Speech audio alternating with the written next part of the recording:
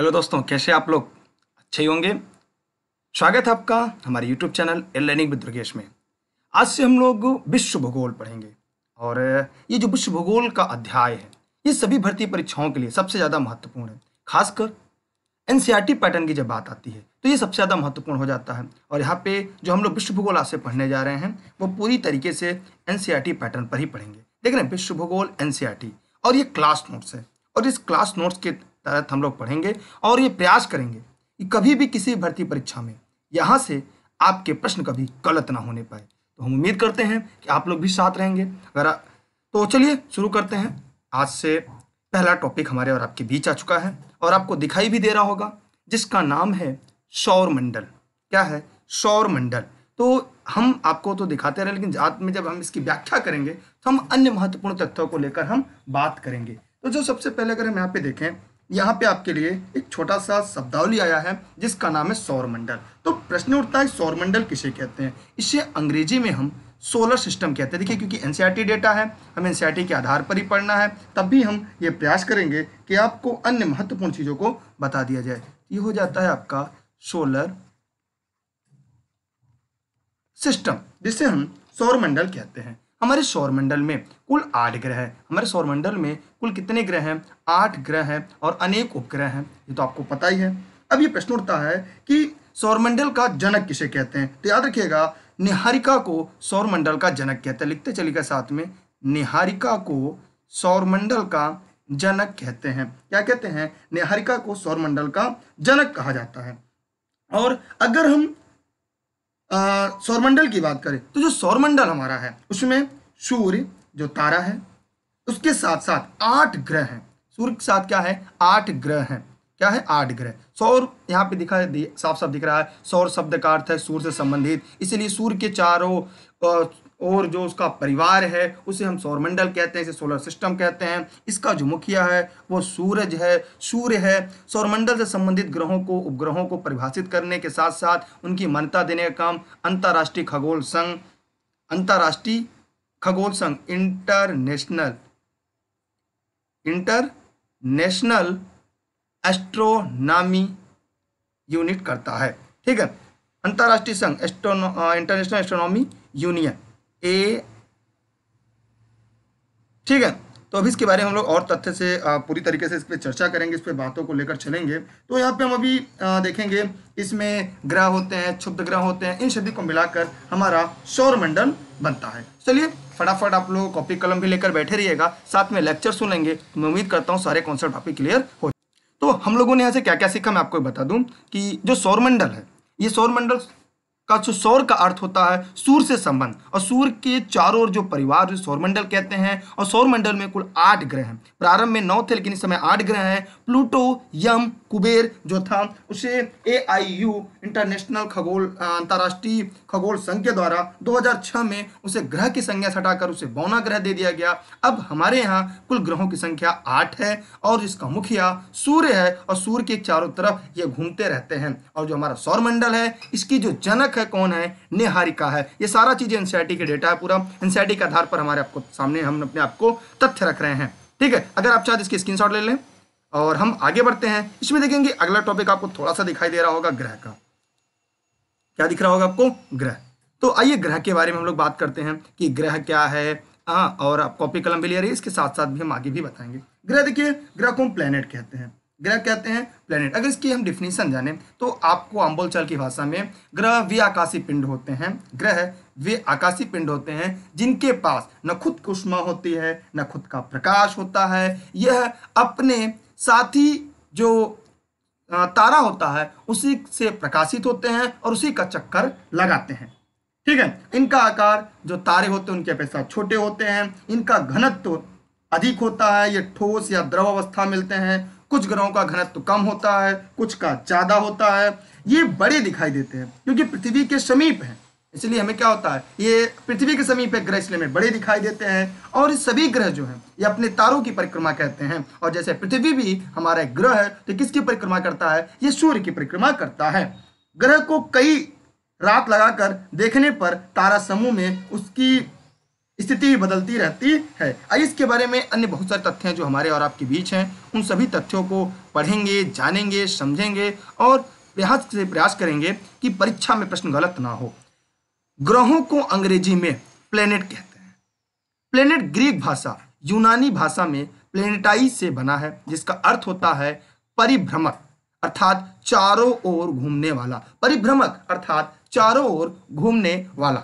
ग्रह ऐसे खगोलीय पिंड होते हैं जो सूर्य के चारों सूर्य कहिए या अपने तारे, सूर्य या तारा कोई भी कह सकते हैं, एक निश्चित दिशा में परिक्रमा करते हैं। इसके पास स्वयं का प्रकाश होता है लेकिन उस्मान नहीं होता। ध्यान दीजिएगा, उसके पास उस्मान नहीं होता, वो अपने साथी तारे की उस्मा से उष्मा ग्रहण करता है। ये तारों के प्रकाश से प्रकाशित होते हैं, इन्हें हम ग्रह कहते हैं। अगर हम अपने सौरमंडल की बात करें तो हमारे सौरमंडल में कुल आठ ग्रह हैं जिसके नाम क्रम से बुद्ध शुक्र, पृथ्वी, मंगल, बृहस्पति, शनि, अरुण और वरुण है। और जो नौवा ग्रह था, उसे 2006 में यम, जिसका नाम था प्लूटो, कुबेर नाम से जाना जाता था, उसे ग्रह की श्रेणी से हटाकर, उसे बौना ग्रह की श्रेणी दिया गया। क्यों? क्योंकि वह अपने चक्कर के अलावा, वह दूसरे के चक्कर को काटता था। तो हमने एक ग्रह में देखा कि वह आकाशीय पिंड, जो सूर्य के चारों ओर चक्कर लगाते हैं और उन्हीं से प्रकाशित होते हैं, किसी की कक्षा को प्रभावित नहीं करते हैं, उन्हें हम क्या कहते हैं? ग्रह कहते हैं।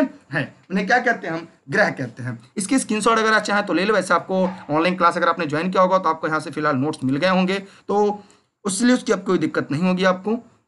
अब आगे देखते हैं उपग्रह। देखिए, उपग्रह क्या है? एक बड़ा कॉन्सेप्ट है, यहाँ पे उपग्रह को आपको अच्छे से पढ़ना पड़ेगा, अच्छे से समझना पड़ेगा। क्योंकि उपग्रह एक ऐसा टॉपिक है जहाँ से प्राय परीक्षाओं में प्रश्न आते हैं। उपग्रह क्या है? उपग्रह खगोली पिंड है। उपग्रह क्या है? एक खगोली पिंड है, जो ग्रहों के जो ग्रह होते हैं, उनके चारों ओर परिभ्रमण करता है। उनके चारों चक्कर लगा जैसे भी हम लोगों ने क्या देखा कि जो ग्रह होते थे, वो तारों के चक्कर लगाते थे, लेकिन जो ग्रह होते हैं, जिन्हें सैटेलाइट कहते हैं इन्हें हम सैटेलाइट कहते हैं। ये किसके चारों तरफ़ चक्कर लगाते हैं? ये अपने साथी ग्रह के चारों ओर चक्कर लगाते हैं। उपग्रह के पास भी स्वयं का प्रकाश नहीं होता। जो उपग्रह होते हैं, इनके पास भी स्वयं का प्रकाश नहीं होता। सौरमंडल में लगभग सौ से अधिक उपग्रह जो सौरमंडल हमारा है, उसमें सौ से अधिक उपग्रह है। उपग्रह दो प्रकार के होते हैं। एक तो होते हैं प्राकृतिक उपग्रह तथा कृत्रिम उपग्रह। ग्रह भी क्या होते हैं? दो प्रकार के होते हैं। एक होता है प्राकृतिक उपग्रह, दूसरा होता है कृत्रिम उपग्रह। देखिए, प्राकृतिक उपग्रह क्या होता है? जो स्वतः सौरमंडल की उत्पत्ति, जो निहारिका हुई थी, उसके जन्म के समय जो हमारा उपग्रह आया था, उन्हें हम प्राकृतिक उपग्रह नेचुरल सैटेलाइट कहते हैं। और ये कृत्रिम उपग्रह होते हैं, जिन्हें मानव अपने उद्देश्यों की पूर्ति करने के लिए अपने पृथ्वी के अन्य ग्रहों की कक्षा में स्थापित करता है, उसे हम कृत्रिम उपग्रह कहते हैं। प्राकृतिक उपग्रह वे होते हैं जो सूर्य के चारों परिक्रमा करते हैं। कृत्रिम उपग्रह वे होते हैं जो पृथ्वी के धरातल से एक निश्चित उद्देश्य मानव द्वारा भेजे गए होते हैं। मतलब एक लाइन समझिएगा, जो मानव उद्देश्य को पूर्ति करने के लिए जो ग्रहों के चारों तरफ़ चक्कर लगाते हैं, उन्हें प्राकृतिक उपग्रह कहते हैं। ठीक है? और जो सूर्य के तरफ़ चक्कर लगाते हैं मतलब अपने ग्रह का चक्कर लगाते हैं, ग्रह सूर्य का चक्कर लगाते हैं तो उन्हें हम क्या कहते हैं? उन्हें हम एक लाइन में कहते हैं उन्हें हम कृत्रिम सॉरी प्राकृतिक उपग्रह कहते हैं। जैसे चंद्रमा क्या है? चंद्रमा जो है, वह पृथ्वी का चंद्रमा जो है हमारा, वो पृथ्वी का एकमात्र प्राकृतिक उपग्रह है। वो क्या करता है? वो तो पहले पृथ्वी का चक्कर लगाता है और पृथ्वी क्या सूर्य का चक्कर पूरा कर लेती है। इस प्रकार वह सूर्य का भी चक्कर पूरा कर लेती है अप्रत्यक्ष रूप से। अगर हम उपग्रह के बारे में कुछ बातें जाने तो यहाँ पे हम देखेंगे कि उपग्रह व्याकाशी पिंड होते हैं, जिनके पास न खुद कुष्मा होती है, न खुद का प्रकाश होता है। ये अपने मातृगृह की परिक्रमा करते हैं, तथा साथ ही सूर्य की परिक्रमा भी करते हैं। ग्रहों की भांति इनके पास भी अपना प्रकाश नहीं होता। ये अपने साथी तारे अथवा सूर्य के प्रकाश से प्रकाशित होते हैं। और अगर हम देखेंगे तो जो ग्रह की भांति होते हैं, उपग्रह भी ऐसे होते हैं, वो भ्रमण पथ जो होता है, उनका अंडाकार होता है। बुद्ध और शुक्र ग्रह के पास अपना कोई उपग्रह नहीं है। पृथ्वी का एक मात्र उपग्रह चंद्रमा है। सर्वाधिक उपग्रहों वाला ग्रह जो हमारा बृहस्पति है, इन सभी के बारे में हम लोग अभी आगे एक एक करके चर्चा करेंगे। ठीक है, तब तक आगे बढ़ते हैं। आप चाहते इसके स्क्रीनशॉट ले ले सकते हैं। वैसे आपके पास ऑनलाइन अगर आपने कोर्स ज्वाइन किया होगा तो आप सभी को इसके नोट्स मिल गए होंगे। ठीक है, आगे बढ़ते हैं हम लोग। इसके अन्य तथ्यों की तरफ़ हम चर्चा करते रहते हैं। और, अब अगला टॉपिक आपका आ रहा, छोटा सा आ रहा है तारा। आइए तारा को पहले हम लोग पढ़ लेते हैं। तारा किसे कहते हैं? देखिए, अगर तारे की हम बात करते हैं तो तारा क्या होता है? इसको स्टार कहते हैं। ये तो आप पहले से बचपन से पढ़ते आ रहे हैं। तारा गैसों से बने होते हैं, इनके पास स्वयं की उष्मा तथा प्रकाश होती है। ये मोस्ट इंपॉर्टेंट है। जो तारे होते हैं, इनके पास स्वयं की उष्मा होती है, स्वयं का प्रकाश होता है, जिससे वे बड़ी मात्रा में उत्सर्जित करते हैं। ये ऐसे खगोलीय पिंड होते हैं, जो आकार में बड़े और गर्म होते हैं। ये ऐसे खगोलीय पिंड होते हैं, जो आकार में बहुत बड़े होते हैं और साथ ही साथ गर्म भी होते हैं।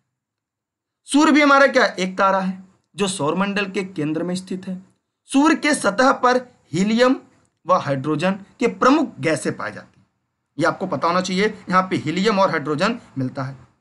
सूर्य के सतह का जो तापमान है, वो छह हज़ार डिग्री सेल्सियस है। रात के समय चमकते हुए अनगिनत तारे सूर्य के समान ही है, लेकिन ये अत्यधिक दूर होने के कारण छोटे दिखाई देते हैं। भैया, इतने दूर हैं, ये कैसे दिखाई देते हैं? ये हम सबको छोटे दिखाई देते हैं। ठीक है? तो आगे हम लोग देखेंगे क्योंकि एनसीईआरटी पैटर्न पे हम लोग पढ़ा रहे पूरा एनसीईआरटी का ही नोट्स है। तो यहाँ पे हमने देखा कि रात के समय चमकते हुए अनगिनत तारे सूर्य के समान दिखाई देते हैं, लेकिन अत्यधिक दूर होते हैं। सूर्य के नज़दीक प्रमुख तारे देखा जाए तो प्रक्षिमा सेंचुरी है। अगर पृथ्वी के बाद अगर देखा जाए कि सबसे नज़दीक तारा क्या है, पहले सूर्य है, सूर्य के बाद प्रक्षिमा सेंचुरी, फिर अल्फ़ा सेंचुरी के नाम से जाना जाता है। अब अगर हम तारों के बारे में अन्य कोई बातें अगर आपको बताएँ तो अगर हो सकता है कि परीक्षा दृष्टिकोण से जो महत्वपूर्ण हो आपको तो उनके बारे में देख लें। देखिए, जो तारा होता है तारा के बारे में अगर आप जानना चाहें तो मैं कई बातें आपको बताऊँगा कि तारा में जो रंग होता है, तारों का जो रंग होता है, उससे जो उसका तापमान होता है, तापमान से उसका रंग और रंग से उसकी आयु पता चलती है। ये बात आप लोग जानते रहिएगा, क्योंकि यहाँ से आप सभी को बहुत कुछ जानने को, सीखने को मिलेगा। ठीक है? क्योंकि तारा क्या है? तारा किसे कहते हैं? तारा की उत्पत्ति कैसे होती है? ये बहुत ही बड़ा और एक लंबा कॉन्सेप्ट है। लेकिन फिर भी आप लोग को ये जानना चाहिए। अगर हम लोग तारों का जीवन चक्र देखें तो तारा जो होता है, ये प्रकाशमान, प्रकाश उत्पन्न करने वाला खगोली पिंड को तारा कहते हैं। तारा के बारे में हम लोगों ने देख लिया, ठीक है? आकाशगंगा की तीसरी भुजा में हाइड्रोजन के बादल बनने शुरू हो जाते हैं, जिन्हें स्टेनर नेबुला के नाम से भी जाना जाता है। और अच्छा एक बात आप लोग को है तो अगर आप कॉपी कलम लेकर बैठे हो तो साथ में लिखते भी चलिएगा। देखिए, जो तारा होता है, जैसे जब स्टेलर नेबुला काफ़ी बड़ा हो जाता है तो उसमें परस्पर गुत्वाकर्षण कारण सिकुड़ने लगता है, जिसे आदि तारा कहा जाता है। आदि तारे का जो केंद्र होता है, काफ़ी सघन होता है, इसे भ्रूण तारा भी कहा जाता है। ये बहुत कुछ ऐसी चीज़ें जो आपको धीरे धीरे समझना है, क्योंकि आपको एनसीआरटी डेटा पढ़ना है, इसलिए हम कुछ चीज़ें आपको न बताकर सीधा सीधा कॉन्सेप्ट के, की तरफ़ लेकर चलेंगे, ताकि आपको ज़्यादा ज़्यादा समस्या न हो, खासकर पढ़ने से लेकर, समझने के लेकर। जी हाँ। देखिए, एक पल्सर आता है, न्यूट्रॉन तारा को हम पल्सर कहते हैं। न्यूट्रॉन जो तारा होता है, ये ये सुपरनोवा विस्फोट के बाद होते हैं। ऐसे बहुत सारे ऐसे टॉपिक हैं जो आपको पढ़ना है, लेकिन आगे हम लोग इसको पढ़ेंगे एक एक करके। यहीं पर अगर हम लोग पढ़ लेंगे, थोड़ी सी समस्या हो जाएगी। अगर यहाँ पे हम सूर्य की बात करें, सूर्य भी आगे टॉपिक हमें पढ़ना है तो वहाँ पे हम लोग सूर्य को अच्छे से पढ़ेंगे और हम ये देखेंगे कि सूर्य में क्या सी चीज़ें हैं जो हमारे परीक्षा में बार बार पूछी जाती हैं। लेकिन अभी उसकी ज़रूरत नहीं पड़ेगी, उसकी ज़रूरत अभी आगे पड़ेगी, ठीक है? तो यहाँ पे हम लोगों ने तारे किसके बारे में देख लिया कि तारे के पास खुद कुष्मा होती है, खुद का प्रकाश होता है, ये इसमें हीलियम और हाइड्रोजन होता है और हाइड्रोजन टूटकर हीलियम में जाते हैं और सूर्य में देखा जाए तो नाभिकीय संलयन की प्रक्रिया होती है और इनका जो सूर्य के सतह का तापमान छह हज़ार डिग्री सेल्सियस है तो इस सभी तथ्यों को हम लोगों ने देख लिया है, पढ़ लिया है। अब हम लोग प्रयास करेंगे कुछ इसके बाद कुछ अन्य तथ्यों को भी पढ़ा जाए। ठीक है? तो फटाफट आप लोग नोट्स भी तो आपके पास होगा, लेकिन इसके लेक्चर को भी सुनते चलिएगा। अगला आपके पास आता है नक्षत्र मंडल। शायद आपको दिखाई दे रहा होगा, ये नक्षत्र मंडल क्या है? तो आप लोग पहले कमेंट करके बताएँ, क्या आप लोग को नक्षत्र मंडल पता है? कि नक्षत्र मंडल किसे कहते हैं? अगर पता है तो जल्दी से बताइएगा। नहीं पता है तो हम आपको बताएँगे कि नक्षत्र मंडल क्या होता है, नक्षत्र मंडल किसे कहते हैं। फटाफट बताइएगा, कमेंट करके जितने लोग वीडियो को लाइव देख रहे हैं। फटाफट कमेंट करिए, कमेंट करके बताइए, क्या आपको नक्षत्र मंडल पता है? अगर है तो ठीक है, नहीं है तो फिर कमेंट करके बताइएगा। जी हाँ ये ऑनलाइन क्लास चल रही है, और ये पेड क्लास के लिए खासकर है। तो जो साथी पेड क्लास में जुड़े होंगे तो वो जानते रहें। वैसे, यहाँ पे देखिएगा, रात्रि में आसमान में विभिन्न तारों के समूह द्वारा बनाई गई जो विविध आकृतियों को हम नक्षत्र मंडल कहते हैं। जैसे, अरसा मेजर। देख रहे आपको, अरसा मेजर, बिग बियर, इसी प्रकार का एक नक्षत्र मंडल है। ये बहुत ही आसानी या सरलता से पहचाने जाने वाले सप्तऋषि तारा स्मॉल बियर होता है, ये सात तारों का समूह होता है। प्राचीन काल में दिशा के निर्धारण के समय, रात्रि के समय तारों की सहायता से करते थे। जैसे, उत्तरी तारा, उत्तर दिशा की ओर ज्ञात कराता है, उत्तर दिशा बताता है, इसे ध्रुव तारा कहते हैं। तो ध्रुव तारे के बारे में आपको एक बात जानते रहना होगा। कई बार परीक्षा में पूछा जा चुका है कि जो ध्रुव तारा होता है यह उत्तर दिशा का घोतक होता है। यह पूछा जाता है कि जो ध्रुव तारा होता है वह किस दिशा का घोतक होता है? तो आपको जानना चाहिए कि जो ध्रुव तारा होता है, ये उत्तर दिशा का घोतक होता है। ये क्या बताता है? ये उत्तर दिशा की ओर इंगित करता है या उत्तर दिशा को ये बताता है। ये चीज़ें आपको पता होनी चाहिए चीज़ आपको जानते रहना चाहिए। क्योंकि भविष्य में ऐसे प्रश्न पूछा जाता है, क्योंकि खासकर जो मैं आपको पढ़ा रहा हूँ एनसीआरटी का पैटर्न एनसीआरटी डेटा है तो वहाँ पे पूछा है कि राम खो जाता है, रात में वह जगह जाने लगता है, फिर समझ में नहीं आता वो कहाँ जा रहा है। तो वह उत्तर ध्रुव तारे की तरफ़ बढ़ता जाता है तो किस दिशा में बढ़ रहा है? तो उत्तर दिशा में बढ़ रहा है।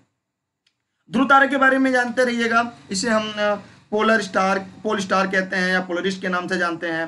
पृथ्वी के उत्तरी ध्रुव पर अगर कोई खड़ा व्यक्ति है तो ठीक सिर के ऊपर ध्रुव तारा की जो किरणें होती हैं, पृथ्वी के उत्तरी ध्रुव पर नब्बे अंश का कोण बनाती हैं। ठीक है? तो ये बहुत सारी चीज़ें आपको थी, जो परीक्षा में आपके लिए उपयोगी हो सकती थी। आगे बढ़ते हैं हम इसके अन्य तथ्य की तरफ़, क्योंकि हमारा उद्देश्य नोट्स के अलावा भी इतर चीज़ें भी हम आपको बताते चले, जो प्राय पूछा जाता है। अब हम जो पढ़ने जा रहे हैं, इसका जो टॉपिक है, वो उसका नाम है और कच्छा या इसे ऑर्बिट कहते हैं। कक्षा, सौरमंडल के सभी आठ ग्रह, एक निश्चित पथ पर सूर्य का चक्कर लगाते हैं। यह पथ दीर्घ वृत्ताकार है। यह प्रश्न कई बार परीक्षा में पूछा गया है कि सूर्य जिस पथ पर चक्कर लगाता है, वो पथ कैसा है? वो पथ है दीर्घ वृत्ताकार जी है, कैसा है? दीर्घ वृत्ताकार होता है। यही दीर्घ वृत्ताकार पथ ही एक कक्षा होती है, जिसे हम ऑर्बिट के नाम से जानते हैं। क्या कहते हैं? ऑर्बिट कहते हैं। अभी हम डायग्राम दिखाकर आपको सभी स्पष्ट करेंगे सारी चीज़ें। एक एक करके सभी तथ्यों को बताएँगे, समझाएँगे। अगला आता है एक क्षुद्र ग्रह, इसे हम एस्ट्रोनॉट बेल्ट कहते हैं। अभी इसको हम बता भी दे रहे हैं। आगे जब इसको पढ़ाएँगे तो हम इसको और अच्छे तरीके से डायग्राम में दिखाकर, समझाकर आपको बताएँगे, ये क्या होता है, कहाँ होता है, इसका उपयोग क्या होता है, ये कैसे बना है, इन सभी के बारे में हम आपको एक एक करके सभी तथ्यों को बताएँगे। ठीक है, लेकिन यहाँ पे हम क्षुद्र ग्रह को थोड़ा सा आपको बताना ज़रूर चाहेंगे, क्योंकि परीक्षा में यहाँ से प्राय प्रश्न आता है। देखिए, तारों के ग्रह एवं उपग्रहों के अतिरिक्त असंख्य छोटे पिंड भी सूर्य के चारों ओर चक्कर लगाते हैं। इन पिंडों को क्षुद्र ग्रह कहते हैं, इसे एस्ट्रोनॉट बेल्ट कहा जाता है। ये जो क्षुद्र ग्रह, ये ग्रह के ही भाग होते हैं, या ग्रहों से टूटकर अलग हुए हैं। समांतर क्षुब्ध ग्रह मंगल और बृहस्पति कक्षा के बीच पाया जाता है मोस्ट इंपॉर्टेंट वैसे मैं आगे आ, इसके डायग्राम दिखाकर भी आपको पढ़ाऊँगा लेकिन आप इतना ही जानते रहिएगा कि जो क्षुद्ध ग्रह की पट्टी होती है ये मंगल ग्रह और बृहस्पति ग्रह के बीच पाई जाती है। कहाँ पाई जाती है? मंगल और बृहस्पति ग्रहों के बीच पाई जाती है। इसलिए इस बात को आप जानते रहिएगा। ठीक है? आगे बढ़ते हैं। थोड़ी सी बातें और है आपको वो भी देख लेते हैं। जो आपकी परीक्षा में बार बार पूछा जाता है, उन सभी के तथ्यों को बारे में जानकारी रखना, पढ़ना। अगला है उल्का पिंड। छोटा सा टॉपिक है आपका, उल्का पिंड। तो उल्का पिंड किसे कहते हैं? तो पहले आप लोग को पता होना चाहिए, उल्का पिंड किसे कहते हैं? क्योंकि आप लोग लगातार पढ़ते आ रहे हैं और पढ़ भी रहे हैं। तो उल्का पिंड किसे कहते हैं? ये क्या है? कहाँ से आते हैं? ठीक तो इसे मेटर भी कहते हैं, मेट्राइट भी कहते हैं उल्का पिंड को। तो जो ये उल्का पिंड होते हैं, ये अंतरिक्ष में तीव्र गति से घूमते हुए एक अत्यंत सूक्ष्म जो ब्रह्मांडी कण है, धूल व गैस से बने होते हैं। और जब पृथ्वी के वायुमंडल में प्रवेश करते हैं, जैसे हमारी पृथ्वी है, इसके पास से अगर ये गुजर रहे हैं तो पृथ्वी ग्रेविटेशनल फोर्स इन्हें क्या करते हैं? अपनी तरफ़ खींच लेती है। जब ये पृथ्वी की तरफ़ जाते हैं तो हमारे वायुमंडल में रगड़ खाते हैं और रगड़ खाने के बाद ये जल उठते हैं। और जब जल जाते हैं तो गर्म होते हैं और उनके तेज़ी से प्रकाश दिखता है। और प्रकाश के रूप में धीरे धीरे पृथ्वी की तरफ़ बढ़ते हैं और क्षण भर में गायब हो जाते हैं लुप्त हो जाते हैं। इन्हें ही हम उड़ता तारा कहते हैं। इन्हें क्या कहते हैं? शूटिंग स्टार कहते हैं। इन्हें क्या कहते हैं? Shooting star. या टूटता हुआ तारा कहते हैं। लोग कहते हैं मन्नत मांग लो आपकी मुरादें पूरी जाएगी। ऐसा कुछ नहीं है। ये आ, आ, मतलब मन के भ्रम है। ऐसा कुछ नहीं होता। ठीक है? और अस्सी किलोमीटर तक देखिए, एक प्रश्न आता है कि पृथ्वी के धरातल से अस्सी अस्सी किलोमीटर तक, अस्सी किलोमीटर तक की ऊंचाई तक पहुँचते पहुँचते लगभग सभी उल्का पिंड घर्षित होकर पूर्णतः नष्ट हो जाते हैं। और जब ये जलकर नष्ट होकर पिंड के रूप में पृथ्वी गिरते हैं, उसे हम उल्का पिंड कहते हैं। जब ये उल्का जो होता है, जो केतु होता है, इसे केतु भी कहते हैं। उल्का को केतु के नाम से जानते हैं, याद रखिएगा। उल्का को हम केतु के नाम से भी जानते हैं। जब ये केतु पृथ्वी पर पहुँचता है उल्का जब पृथ्वी पहुँचता है तो ये 80 किलोमीटर, पृथ्वी के चारों तरफ़ 80 किलोमीटर के परिधि में ही लगभग जल जलकर खत्म हो जाता है, पिंड के रूप में गिरता है। तब उसे हम उल्का पिंड कहते हैं। ठीक है? क्या कहते हैं उल्का पिंड? इसे उल्कास्म भी कहते हैं। इसे हम क्या कहते हैं? उल्का पिंड को उल्कास्म भी कहते हैं। उल्कास्म के नाम से भी जानते हैं। ठीक है? ये आप लोग जानते रहिएगा। और देखा जाए तो पृथ्वी की सब सतह पर मिलने वाला सबसे बड़ा उल्का पिंड होवा वेस्ट था। क्या नाम था उसका? होवा होवा वेस्ट था। ठीक, जो नीबिया में गुड फ्रंटिन के पास पाया गया। जब कभी उल्का पिंड आकाश में तीव्र आवाज़ करता है तो उसे बोलाइट कहते हैं। उसे क्या कहते हैं? उसे हम बोलाइट कहते हैं। जब तीव्र आवाज़ करता है तो उसे हम क्या कहते हैं? बोलाइट कहते हैं। अभी इसको बता देंगे। लिख लीजिएगा, बोलाइट कहते हैं। उसे कहते हैं बोलाइट। उसे हम बोलाइट के नाम से जानते हैं। क्या कहते हैं उसे हम? बोलाइट कहते हैं। ठीक है, ये आप जानते रहिएगा। फिर ये पृथ्वी की सतह पर जो मिलते हैं, अवशिष्ट गोला, उन्हें टेक्सटाइल भी कहते हैं। तो ये बहुत सारे ऐसे तथ्य हैं जो आपको परीक्षाओं में बार बार पूछा जाता है। तो यहाँ पे अगर हम देखेंगे, अगर हम यहाँ पे तो सूर्य के चारों ओर चक्कर लगाने वाले पत्थर के छोटे छोटे जो टुकड़े हैं, उन्हें मुल्का पिंड कहते हैं। जब कभी ये पिंड पृथ्वी के नज़दीक आ जाते हैं तो वायु के साथ घर्षण के कारण गर्म होकर जल जाते हैं। कभी कभी ये उल्का पिंड जले हुए बिना पृथ्वी पर गिरते हैं, इसे धरातल पर गड्ढे हो जाते हैं। ठीक, ये तो आप जानते रहिएगा, इन्हें टूटता हुआ तारा शूटिंग स्टार कहते हैं। लोग कहते हैं, पिक्चर में देखे होंगे, हीरो हीरोइन बनते मान लेते हैं तो ऐसा कुछ नहीं है। ये केवल क्या है? ये जोग्राफी का जोग्राफी का एक सेक्शन है। जहाँ पे परीक्षाओं में आपको बार बार पूछा जाता है और आपको भी तैयार रखना होगा इस सब चीज़ को। अभी छोटा सा तथ्य आता है आकाश गंगा वैसे मैं आपको आ, कम में समझा दूँगा आकाश गंगा क्या है मिल्की वे क्या है और बाद में इसको हम लोग और अच्छे से पढ़ेंगे क्योंकि अभी छोटी छोटी बातें हम लोग जानेंगे और फिर आगे बढ़ेंगे। ये आकाश गंगा हमारी आकाश गंगा को मिल्की वे कहते हैं। दुग्ध मेखला गैलेक्सी। तो अगर इनके बारे में हम जाने तो यहाँ पे बहुत सारी चीज़ें हमें आपको देखने को, जानने को मिलेंगी ये लाखों तारों का समूह होता है। हमारा सौरमंडल भी इसी आकाश गंगा का एक भाग है। प्राचीन भारत में इसी कल्पना आकाश में प्रकाश की एक बहती नदी से की गई थी कि प्रकाश की नदी बहती है और इसी नाते से दुग्ध मेखला या मिल्की वे नाम दिया गया। आकाश गंगा में करोड़ों तारों, बादलों, गैसों का एक प्रणाली है। लाखों आकाश गंगा में से मिलकर एक ब्रह्मांड का निर्माण होता है। हमारी पृथ्वी सौरमंडल का ही एक अंग है। तो यहाँ पे हमने देखा कि सौरमंडल जो है, वह आकाशगंगा का हिस्सा है। आकाशगंगा ब्रह्मांड का एक अंग है। तो इस प्रकार यहाँ पे हम लोग को देख रहे हैं, एक दूसरे से सभी क्या है, यहाँ पे जुड़े हुए हैं। ठीक है तो उम्मीद कर रहा हूँ आप लोग को समझ में आ रहा होगा, आप लोग देख भी रहे होंगे। जैसे कि यहाँ पे हमने यहाँ पे देख लिया कि सौरमंडल जो है, आकाशगंगा वो आकाशगंगा ब्रह्मांड का हिस्सा जैसे आप देखिए पृथ्वी है, पृथ्वी से बड़ा सौरमंडल है, सौरमंडल से बड़ा आकाशगंगा ना, ब्रह्मांड सबसे बड़ा है। ब्रह्मांड क्या है? सबसे बड़ा है। प्रारंभ में जो ब्रह्मांड में ऊर्जा व पदार्थ का वितरण समान नहीं था, घनत्व में भिन्नताएँ आई, इसके परिणाम स्वरूप पदार्थ एक की एक जगह होने लगे और फिर उनसे असंग तारे, एक आकाशगंगा बना, उसमें असंग तारों का समूह आया। आकाशगंगा का विस्तार अधिक होता गया, उसकी दूरी हज़ारों प्रकाश वर्ष मापी गई। जो प्रकाश वर्ष है दूरी का मात्रक होता है। अगर हम मंदाकिनी की बात करें तो आकाशगंगा, जिसमें सौर परिवार, सूर्य, पृथ्वी, ग्रह उपग्रह रहते हैं, उसे मंदाकिनी कहते हैं। चौबीस आकाशगंगाओं का एक बृहद पुंज है। मंदाकिनी आकाशगंगा का एक सरपील है। मंदाकिनी का वह भाग जो पृथ्वी से एक प्रकाश सरिता, एक दुग्ध की तरह, एक नदी की तरह बहता है, उसे दुग्ध मेखला या मिल्की वे के नाम से जानते हैं। तो बहुत सारे ऐसे कॉन्सेप्ट है जो आपको परीक्षाओं में यहाँ से बार बार पूछे जाते हैं, जो आपको पढ़ना है। ठीक आगे देखते हम लोग यहाँ आगे क्या पढ़ना है, क्योंकि हम लोग एनसीईआरटी के आधार पर ये पूरी नोट्स पढ़ रहे हैं।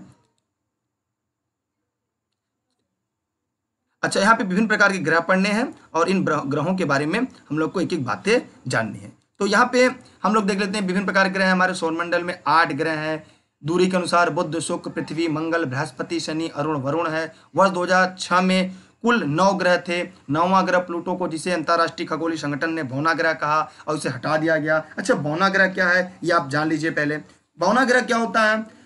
कार्नेजी मेलन यूनिवर्सिटी के जैकलिन फर्टी और उसकी टीम ने इस इसे सबसे ठंडा ब्राउन डार्क खोजा। ठीक है तो बाउंड ड्राफ्ट जो होता है मतलब इसे हम जी हाँ ड्राफ्ट प्लेनेट कहते हैं। माने बौना ग्रह की संज्ञा इसे संज्ञा दी जाती है। इसके बारे में हम लोग आगे पढ़ेंगे, जब के ग्रह को पढ़ेंगे तो वहाँ पे हम इन सभी के बारे में कि तथ्य क्या है, कब हुआ, कैसे इसकी बैठक हुई, प्लूटो के साथ साथ ऑन किस ग्रह को कहा गया तो ये सभी पूरा जो हम लोग पढ़ते हैं, ये पूरी तरह से एनसीईआरटी का है। ये सभी एन के आंकड़े हैं, जो सिक्स टू ट्वेल्व से लेकर इसको तैयार किया गया है, खासकर आपकी भर्ती परीक्षा को लेकर। ठीक है तो ऑनलाइन क्लास ज्वाइन करने के लिए आप six three zero six three double four three six seven पर व्हाट्सएप करके जान सकते हैं। ऑनलाइन क्लास के लिए फेसबुक पे अगर यूज़र हैं तो ई लर्निंग विद दुर्गेश और टेलीग्राम पे आप दुर्गेश सर सर्च करके आप ई लर्निंग विद दुर्गेश से जुड़ सकते हैं। अभी इसके बाद हम लोग जो आगे पढ़ेंगे, वो डायग्राम के आधार पर पढ़ेंगे। जैसे मैं आपको बता दूँ, इसके बाद क्या जो हम लोग को, इसके बाद हम लोग को इस डायग्राम के आधार पर पढ़ना है। डायग्राम के आधार पर पढ़ना कैसे? आइए इसके बारे में आपको बता दूँ, जो जो जो चीज़ें आज हम लोगों ने पढ़ी, उन उन विषय पे हम लोग यहाँ पे छोटी सी चर्चा कर लेते हैं। ये सूर्य है ठीक है, ये क्या है? हमारे पृथ्वी के सबसे नज़दीक का तारा है, जिसे हम सूर्य कहते हैं। इसके बाद आठ ग्रह हैं, जिन्हें हम बुद्ध शुक्र, पृथ्वी, मंगल, बृहस्पति, शनि, अरुण और वरुण के नाम से जानते हैं। और हमने देखा इन ग्रहों के बीच में, बुद्ध शुक्र ग्रहों के बीच में एस्ट्रोनाइड बेल्ट है। इसे हम क्षुब्ध ग्रह की पट्टी कहते हैं। बाकी इनके बारे में आगे पढ़ेंगे, इसके बाद के जो तथ्य वहाँ पे हम लोग पढ़ेंगे। इनके जो शुरुआत के जो ये चार ग्रह हैं, इन्हें आंतरिक ग्रह कहते हैं, इन्हें बाह्य ग्रह कहते हैं, इनकी क्या विशेषता है, दूरी के आधार पर, इन सभी तथ्यों को एक एक करके पढ़ेंगे, ताकि परीक्षा में यहाँ से कभी प्रश्न आपके गलत ना होने पाए। और आप ज़्यादा ज़्यादा स्कोर करें। हमारा और आपका सबसे बड़ा उद्देश्य होगा कि हमें और आपको परीक्षा में सबसे ज़्यादा और बेहतर स्कोर करना है। तो उम्मीद करते हैं ये टॉपिक ये तथ्य आप लोग को समझ में आ रहा होगा। तो आप लोग ऑनलाइन क्लास से जुड़े रहिएगा। उसके लिए आप लोग six three six six three zero six three double four three six seven पर व्हाट्सएप करके ऑनलाइन क्लास संबंधी जानकारी ले सकते हैं। और टेलीग्राम पे दुर्गेश सर सर्च करके इलेनी दुर्गेश से आप जुड़े रह सकते हैं। ठीक है, इसी के साथ हम आपसे एक सवाल पूछेंगे। उम्मीद करते हैं अगली वीडियो में आप सभी उस सवाल का जवाब देकर रखेंगे। आधुनिक भूगोल का जनक किसे कहते हैं? आधुनिक भूगोल का जनक किसे कहते हैं? ठीक है तो फटाफट कमेंट करके आप लोग कल बताइएगा। और भूगोल का पिता किसे कहते हैं? भूगोल का पिता किसे कहते हैं? और आधुनिक भूगोल का पिता किसे कहते हैं? ये दोनों प्रश्न का जवाब आप लोग कमेंट सेक्शन में ज़रूर दीजिएगा। जो लोग इस वीडियो को देख रहे हैं, वो इसे लाइक और शेयर कर देंगे, सभी साथियों को पहुँचा देंगे। ये पेड क्लास की क्लासेज आपकी स्टार्ट हो चुकी हैं। आप ऑनलाइन क्लास से जुड़ सकते हैं। नोट्स भी उपलब्ध हैं, जो नोट्स आपको होम डिलीवरी घर तक किए जाएँगे। इस साथ सभी साथियों का बहुत बहुत धन्यवाद क्रमशः इसी के साथ हम लोग क्लासेस पढ़ते रहेंगे। और कोई दिक्कत समस्या होगी कमेंट करके पूछ सकते हैं। बहुत बहुत धन्यवाद आप सभी साथी का। बेस्ट ऑफ़ लक जय हिंद, जय भारत।